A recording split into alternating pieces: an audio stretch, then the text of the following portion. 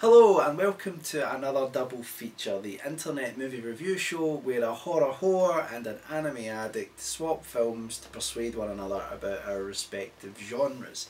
Do you know, I think that introduction's get better. like it's it, better every time. Yeah, it's, it's just get better and better, what can I say? Huh. Uh, so this week I gave Alan. Yeah, this week Mike gave to me The Innocents, the 1961.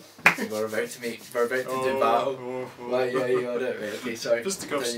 Uh, yeah, Mike gave me the 1961 classic horror The Innocents, uh, directed by Jack Clayton. As, yeah. Yeah, yeah, you did Google. Yes. he checked it just before. Yeah, just to be in the safe side.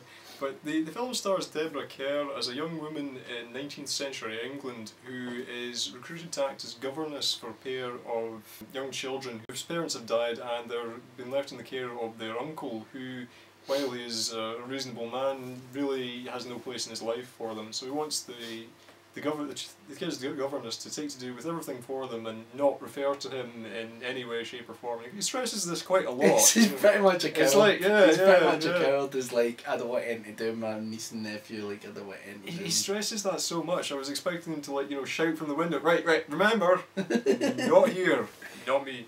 Uh, the the the Miss Giddens is it? The, Miss Giddens when she I'm goes nodding I can't remember but I, I want to say it's Miss Giddens anyway but you know when she goes to meet the children she's she's very taken with them you know she comes to she gets along with the little girl particularly very well but you know there's uh, when she gets there at first the little boy is still away at school and it turns out that he's been expelled for doing something that you know not quite sure what it is he's done and you know when he comes and joins them he seems like this picture of innocence and light. And you know she, she can't accept that this would be the boy that would be expelled from school for doing something nasty. And it starts to transpire that something in particular has happened with the previous governess that was allocated to the, the children who died in mysterious circumstances. And the gardener. And the gardener of course yes. And there is it's very much implied that one of the children still has a link with the gardener in particular and again, I don't know if I can really say much. No, I think you can. That, that, that there's well, aye, that's that's a good summary, yeah. Alan. But I think you can say that it is a supernatural sort of psychological horror, and it does have. Yeah. Well, you already said that that there may be a there may be a connection with the governess and basically her lover, mm. who's a gardener, uh, from beyond the grave. Mm and the film is, is based on the, the novella Turn of the Screw, which mm. is one of the most famous ghost. In fact, many people say it's the ghost story. If you're going to read a ghost story, mm. that's the ghost story, right, by Henry James. Uh, to write, to read even. If you're going to write a ghost story, steal, that one, steal yeah. his ideas.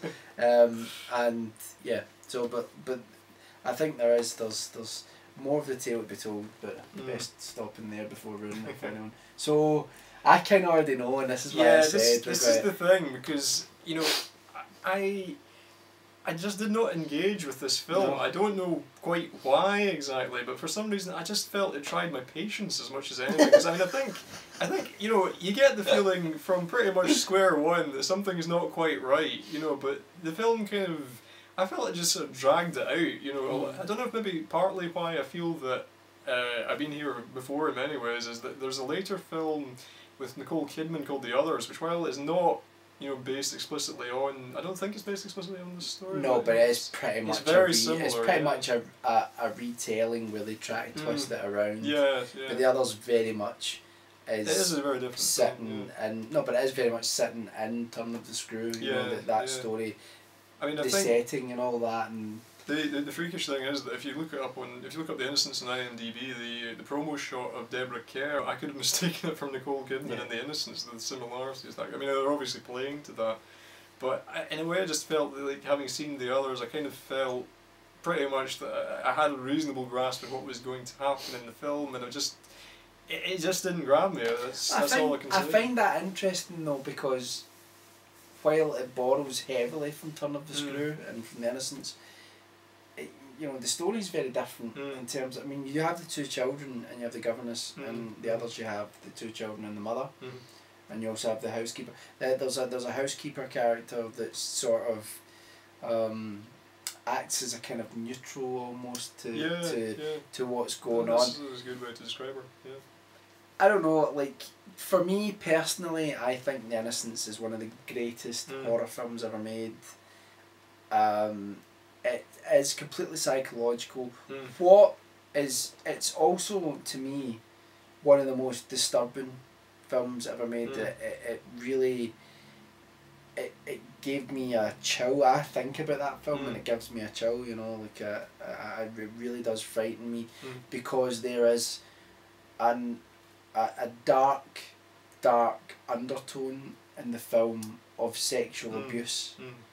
and it's never overtly spoken of, but there are some things that happen in the film which make you very uncomfortable Mm. because the things that happen between an adult woman and a young child and there's the idea of has something else been happening beforehand Mm. were they abused by you know the, the pre- yeah. previous people that were in that house you know you, and and then there's the whole thing is basically the crux of the matter is is the governess going mad Mm. is she obsessing over the innocence of these Mhm. children Mm. and she feels like she's trying to save them from some malevolent force but is she actually dragging them down Mm. with her into into madness. Yeah, I mean, I can, I can get where you're coming from. I mean, I can see how you, you could, you know, enjoy this film if you engaged with that part of it. Sorry, I just, I'm just I just at the fact that your retort started with a bark. Yeah, I'm sorry, That, that was not that was not the most dignified way to what I'm thinking, your boy. that, that, was uh, just an unfortunate coincidence, I'm afraid. Uh, but yeah, I, I, I I could understand where you're. Sorry. oh god. Uh, yeah, I mean, I can understand. Did you get that from him though? That's the thing. That's something yeah, that no, I I, got from I. Did, I did could you, see, you I can see where it comes from. Yeah, but, But did you think of that when you were watching it? Did you feel like there was this um, idea of sexual abuse in the film? Yeah, I mean, I, I, I think, I think in a way, coming to this film now, you know, where perhaps like sort of abuse of that nature is a lot more widely spoken of, like in the news and the media and that sort of thing. I think it's, I think it's actually difficult to see this film without seeing that dimension to it, Mm. or at least I found that you know watching the film now it was difficult not to to At read the that time, into it must I have mean, been really shocking. Yeah, yeah, I think that. I mean, I would certainly agree with you there. I mean, What about the final shot though?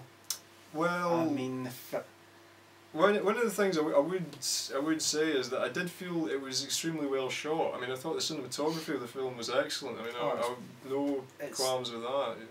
the, the thing is, I can understand watching it and feeling that, that you said it tried your patience, so it Mm. felt like it was dragging. And did you feel it was kind of like shows a ghost? Well, was I, it like it, that? it wasn't even so much that. I, I don't know what it was. I just I I don't know whether it's just I find I tend to find I find children in movies profoundly annoying, and I wish there was less of this sort of thing. But I don't know. It's uh, I, I don't know why. I just I don't know whether it was I didn't.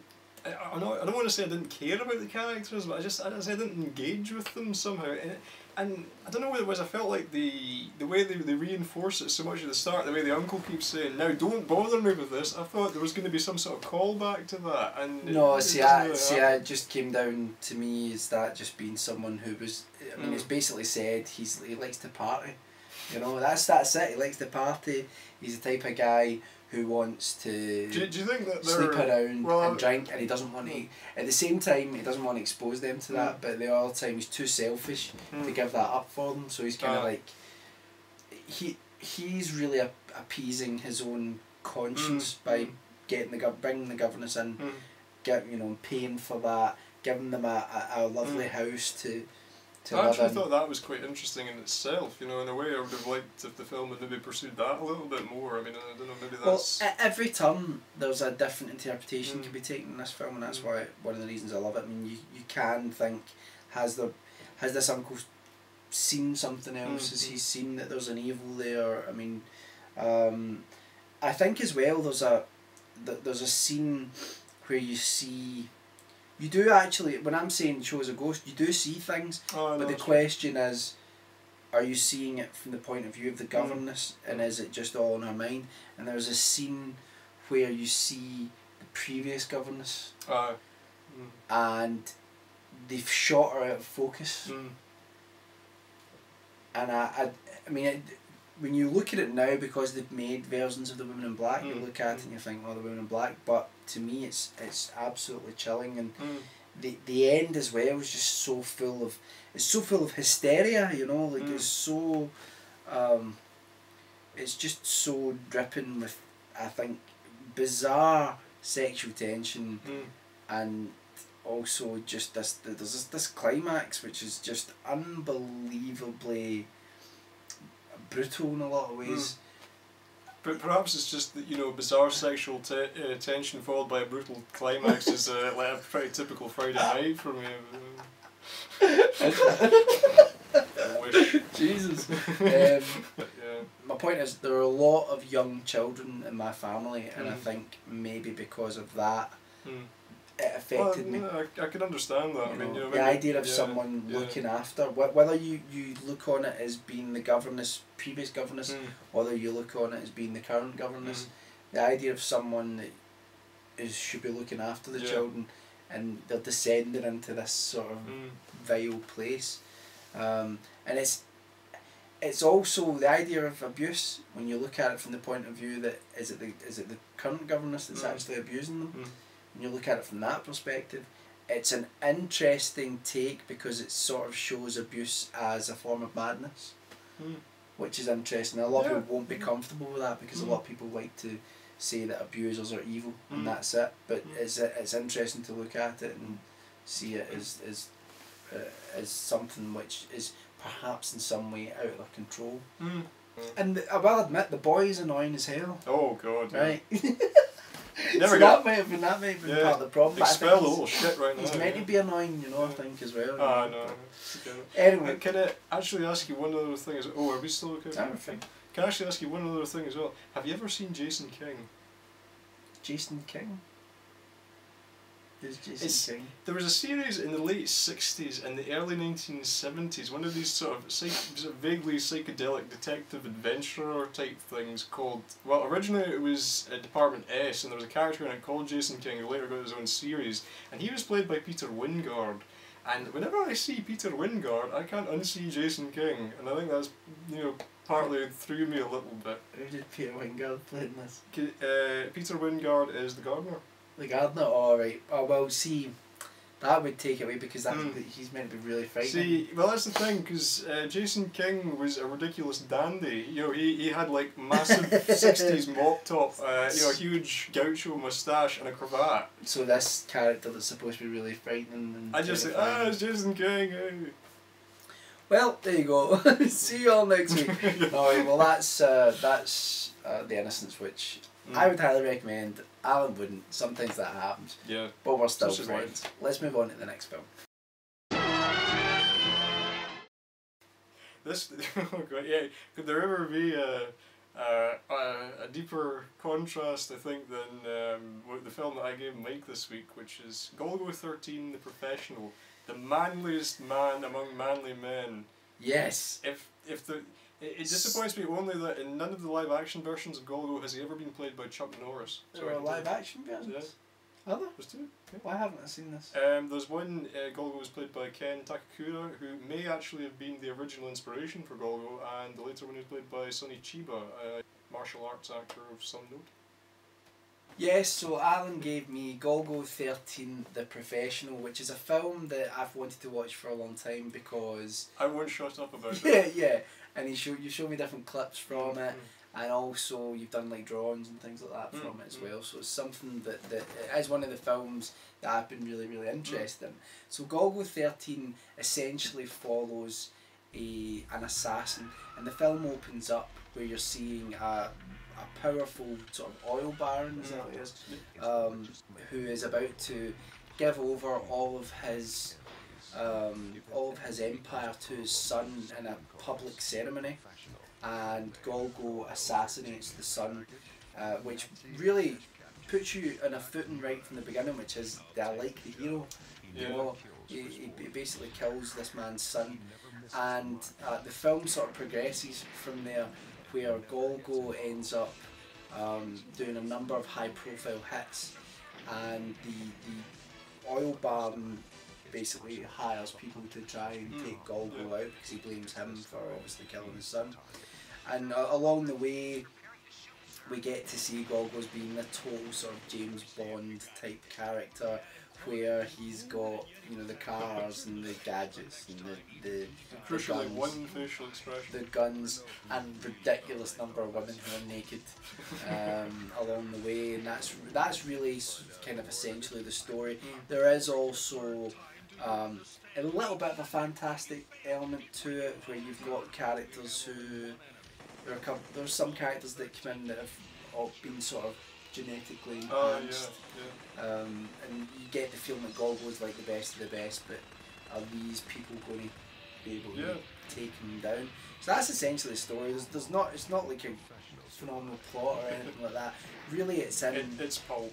Yeah, it's it's really in the, the action and first of all, right off the bat, the animation is some of the best animation I've seen in an anime film. I think Mm. I really love the style of it, um, and that computer's making strange noises again.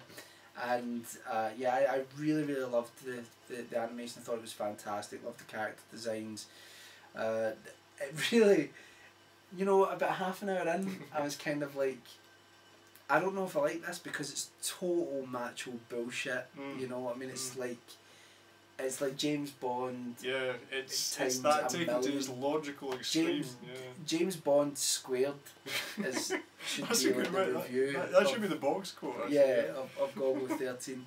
Uh, but as the film progresses, you know, you start getting blown away by the, the action set pieces and Mm. things like that, and you know they really are fantastic. Mm, mm, And no, he's definitely. Constantly fighting these like different mercenaries that are all out to try and try and kill him, try and assassinate him.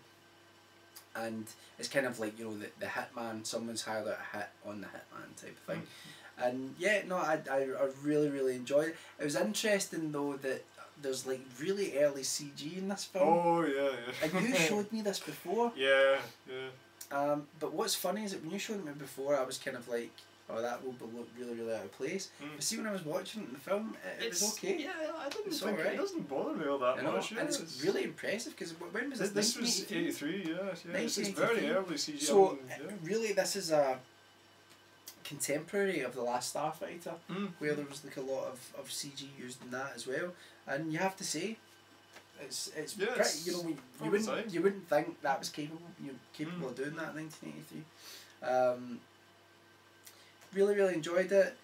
Uh, I I loved the way they wrapped the story up Uh, in the end. I don't want to ruin it for anyone that hasn't seen it, but there, but there is a little bit that sort of helps you resolve who Golgo is and whether he is just this heartless bastard or not.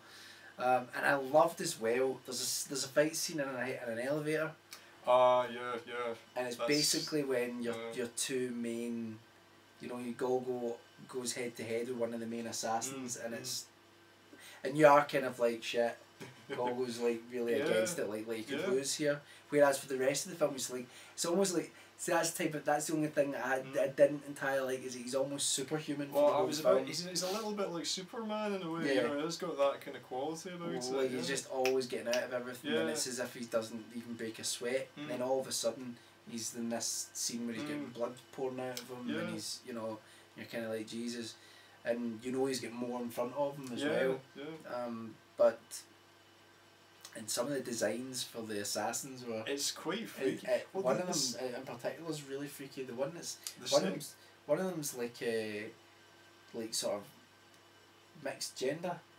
Oh yeah, uh, do you mean the twins? Oh. The, ah yeah yeah no I know what you mean because uh, they're with the masks and everything yeah, they're they're pretty freaky yeah Uh, but but Snake, who is Yeah. the not Snake from Metal Gear. yeah or, or Snake Plissken Yeah, uh, Snake is the the sort of well through most of the film he's the sort of main assassin that Mm. they've hired, and he's just a scumbag. He's Yeah. a- I mean, you really, that's the mark of a good villain. When you Uh, really want to see them get their head kicked in, because this is a guy that like rapes women, and Mm. the sex is really like quite. Uh, it- graphic yeah, it's quite graphic. They, they don't really hold back in Mm, terms of it. no. It's it is kind of bullshit stuff though, like Golgo's constantly, and there's some really funny things in it though, where Golgo's oh like, just uh, use some of the it's the the facial Aye. expression's the exact same, and he's got this beautiful woman in, on top of him, yeah and he's just like, you know, really, yeah, really there is a bit of that. It's um, Well, funnily enough, that's the one thing that I think this this film does lack a little bit. In that, if you read the the Golgo thirteen, the manga, there's so much of it is just is so unbelievably po-faced and it's completely absurd. And I think there's a that is slightly missing from the film because I think my. I- Did the- they make a joke of it? You mean it's well, it's not openly made a joke, but it's so such a, so much of it is just so ridiculous. You can't help but take it. You know, it is a little bit silly. It's like Yeah. you know, the psychic uh, assassin from Russia, or you know, the my favorite one actually is the one where it turns out that uh, Golgo owes Nelson Mandela a favor. And it's like, so he knocks off some neo Nazis for, for Nelson Mandela. That is my favorite That's one of the amazing. manga. That's that because that's that's the thing, and I think the film kind of lacks a little bit of that because the film is very very well, you know, it, try, it takes itself very very seriously, and I think they've really they've really made this one exceptionally grim. I think that the first the first time I actually saw this film, I didn't really like it. And I think the um, the thing that put me off is it is an extremely grim film. I mean, it's it's a film where really, uh, you know, anyone who's remotely likable will end up dead or you know worse in some cases. And you spend the whole time, the whole film, really not sure that you even like Golgo. Well, that's. I mean, I think you might have. You know, when you're saying that they build Snake up to be such an incredibly deplorable villain, that might be why. So that in a way, you know, you you start to view Golgo as being kind of the slightly lesser evil. You know, you want to see him deal out what is coming to these people, what the you know they get their just Yeah. deserts in a way. Um, but yeah, it actually took me a, a few years afterwards when I started thinking about like just sort individual sections of this film. Like the fight scenes are are really, really well animated. Aye, I mean, they are. uh, this was directed by Osamu Dezaki, who also did spa- the, the Space Adventure Cobra film that we spoke of a while ago. And, uh, you know, the, he, the, he was such a talented director of fight scenes, it's, it's unbelievable. I mean, the level of, not only that, the level of experimentation that he is doing this film, I think in many ways he's still making Cobra a little bit, because there's some quite Yeah. psychedelic But, that, visuals but, but that's the thing that I was going to say is that although Cobras maybe get more in common with like sort of Lupin, Yeah. you know, in terms of like his sort of quirky, wisecracking Yeah. nature, there's the sort of superhero aspect of it, you know, Yeah, the the, the um in some places infallible or just so skillful Mm. that that kind of reminded me of, of, of that as well in, Mm. in Golgo, you know, even though the characters are, like you say, Golgo's very, very sort of dry, Yeah. um, and yeah. uh, Cobra's like sort of your witty Ah, it is more kind of wisecracking. wisecracking. Yeah. sort of guy. But no, I really, really enjoyed it. I thought it, thought it was really great. I mean, I was, I was glad to hear you say that because a lot of people really don't like this film. I mean, I think that you get, you know, to, to, to a certain extent, it also happens, I think, with uh, Fist of the North Star, and that you get people that don't like anime, but they, you know, they'll like stuff like Fist of the North Star, and I think particularly with Golgo, you get people that like Golgo, but nothing else is kind of of anime in a way, because I think this is very, very different. I mean, you get even the sequel film that they made to this doesn't really look like this film does. You know, you get very little else that looks or acts like this film does. I That's a shame because well, I, I thought so as well. I, I know that a lot of the critics don't actually, or some of them certainly, don't really go for this film. I mean, to some extent, I think that might be that the cut of it that was available in the UK was badly edited, the original VHS version, possibly. But uh, as well as that, I think they, they feel that this is a film made in Japan to, to appeal to Western audiences, this isn't maybe something that was kind of made indigenously. But, I mean, at the same time, I just think it's a really good film. It's, I, I think it's it's a strange one because it, it seems to be kind of aping the sort of Watergate kind of era, really grim conspiracy thrillers Mhm. from the early 70s, the stuff that was about 10 years before this, like uh, Three Days of the Condor and um, The Parallax View. Mm. I don't know, maybe it's just that they feel that it's a film kind of out of its time, maybe, but it's. it's it's an, I think it holds up- experience. holds up really well. To be honest, It- it's. I mean, I think because it's so close to something like James Bond that Mm, you're mm. you kind of take to it, you know that way. Mm. But it took like I was sort of enjoying the set pieces and all that, but Mm. it really took about halfway through the film, um, and until I started going. I'm actually starting to root It's a bit for the Mm, yeah, and I'm also starting to root for the mm. the the main character. Now I knew right from the start that the animation was was really great, and Mm. like I say, the use of early CG is really interesting. You know, There was a bit of stop motion as well. yeah, the oh, I, that's the thing as well. The opening credits are mental but it's, it, it's like it is a Bond opening. Well, that's, that's what I was going to say. It's like it's like a Bond opening made by Hammer and there's a CG gun, isn't there? Yeah, yeah, there's a bit of CG in that as well. It's uh, that that was missing for many years. That was one of the things that was taken out from the, the early cuts of this film and the like that were available in English. Were missing that opening, but uh, What did they have in its place? um, nothing. Strangely, it just went straight. You know that bit where they show like the, the dossier with Golgo's photo in it. That was the, the opening. Really? Yeah. Jeez. What a waste. I know it's uh, The opening's great. it's- yeah. It's got nothing to do with the film. Oh, It's absolutely nothing to do with the film. But the but it's it's just totally like yeah, here's a Bond opening with skulls and, and, and bullets. yeah. You know? Well, I don't know if maybe it's kind of playing to the mythos here because I think in a way they, they kind of um, invite this uh, slightly reading of Golgo that he's a bit of an antichrist figure that you know Mm. because he's got this logo that's the, this skeleton with the crown of thorns, the kind of uh, Chri- image of Christ unrisen, if you like, which I think gives it maybe a slight supernatural kind of quality to it that he is this sort of. Uh, I mean, as you say, you just picked up earlier. There's a slightly fantastical element to it, and you know maybe it's playing into that a little bit. Mm. No, that's, I, I hadn't really thought of that, but like, uh, I just think it's fun. Much, Just yeah. fun. Yeah. That's, I mean, it's, it's kind of. Although one thing I would say is that that um, it's kind of almost feels like the sort of Bourne thing, you know, like the Bourne movies, Oh right, yeah. because uh, like you kind of like you know what's his background, you know. You Oh sort of- yeah, right enough. It's Why is he that such kind a good assassin? Yeah. Is does he have some sort of, you know, Well, genetic enhancement?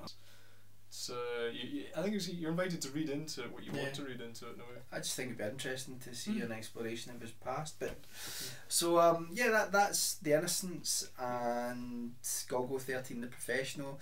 The Innocents is maybe not ideal for people who don't like something that's the sort of slow burner Mm. psychological thriller, but it's I really really like it. I think it's got a lot to it. Definitely go and watch it and let us know what you think. Yeah, do you think I, I was right, or do you think Alan was right? um, and Golgo Thirteen, the Professional, we're both in agreement about that film. It's uh, it's, it's Yeah, it's it's Pretty awesome. fantastic. yeah, it's pretty awesome, and it's just a total riot. You know, you just put it on. It's like put it on some night, sit with a couple of beers, you'll enjoy it. It's total macho bullshit, but you'll enjoy it. Not really what I don't wouldn't imagine a lot of women would enjoy that. I'm not being sexist, but Yeah, I being it's- sexist? I, I, when someone says I'm not being sexist, normally you think, yeah, yeah, you probably well, are. that, that's a good point. You know, if if you'd like to, if, if you're a woman and you've watched Golgo thirteen, let us know what you think about that. Yeah. That would that would be genuinely Yeah, quite because interesting. it, I just mean because it is, it is Mm. just total macho Well, bullshit. they- they- they then often- some people probably like that. They, they often say that uh, Golgo has very few female fans, so yeah, I mean, you know, if you. There's a lot of female fans in the movie. yeah, that's true. Number of breasts that he gets. But uh, yeah, I mean, That's not. That's not what I call women. I don't call women breasts. I don't say the number of breasts he hooks up with. Like genuinely, like just every woman he, he meets, you see naked at some point. Yeah, no, I, would like to refute that, but yeah, I think that is actually accurate. yeah. so uh, we'll be back next time. We don't know. We don't know what we're doing, Uh, not sure that we do, but it might involve a trip into space. and as it always does. So we'll be back next time, and let us know your thoughts. be sure to, to send us a postcard uh, marked uh, I'm a female Golgo 13 fan and send it to the usual address. And Mike is a dick. You There just say that. That would that would make sense. So we'll see you next time, guys. Remember, leave comments down below, and that's all for now. I'm dragging this out. Let's It's just fine. let's just cut to the freeze frame.